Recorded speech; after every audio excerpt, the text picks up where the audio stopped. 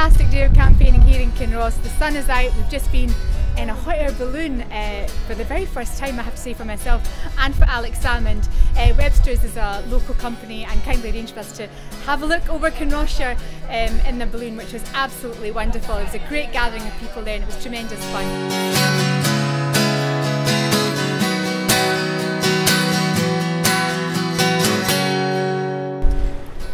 Well, we're here with uh, Team Taz and Milnathort, but the most important thing that's happened today, the most exciting thing, has been going up in a hot air balloon.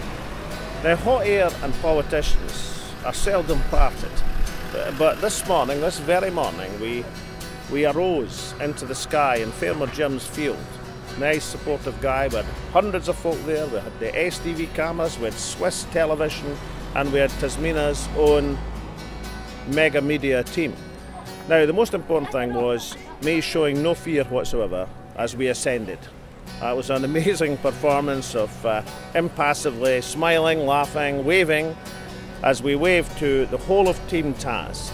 Undoubtedly enthusiastic that uh, we were on our way up, and even more enthusiastic when we landed again safe and sound. So it's been a pretty eventful day. I'm not quite certain how I got persuaded to do it, but I feel good about it now. Uh, and uh, I have to say that this sort of innovation, this spectacular performance is the hallmark of Team Tasmina.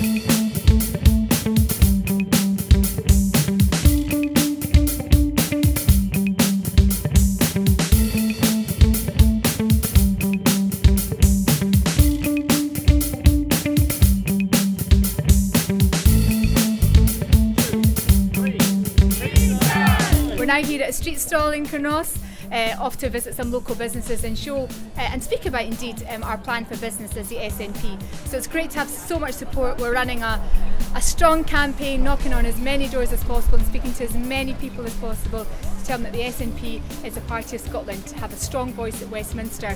They can always rely on us uh, to do our very, very best for them. So keep watching these great videos, keep supporting our campaign. We are stronger for Scotland. Thank you.